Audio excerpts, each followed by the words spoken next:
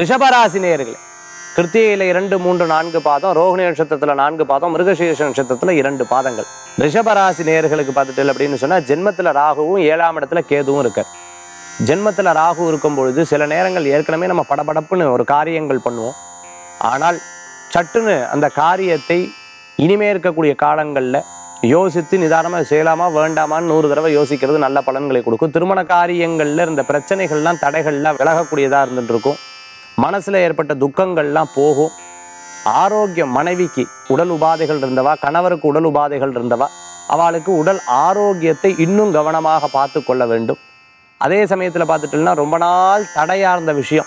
குடும்பத்தில் வந்து சில பேர் பார்த்தீங்கன்னா ஹஸ்பண்ட் ஒய்ஃப் வழக்குகள் ஓடுது பிரச்சனைகள் இருந்துட்டு இருக்குன்னா அதுலெல்லாம் ஒரு தீர்வுகள் வரத்துக்கு உண்டான வாய்ப்புகள் இருக்குது வழக்குகள் இருந்தால் அந்த வழக்குகளில் உங்களுக்கு சாதகமான பலன்கள் கிடைக்கக்கூடியதாக இருந்துருக்கும் இந்த ராகு கேது பயிற்சியில் நீங்கள் செய்யக்கூடியது அபிராமி அந்தாதி படிக்கிறது ரொம்ப விசேஷமான பலன்களை கொடுக்கும். தினம் தினம் இரண்டு விளக்குகள் மீனாட்சி அம்பாளுக்கு ஏற்றி நல்லா பிரார்த்தனை பண்ணிக்கிறது. உன்னதமான பலன்களை கொடுக்கும். இது ரிஷபராசி என்பவர்களுக்கு உண்டான அற்புத பலன்கள்.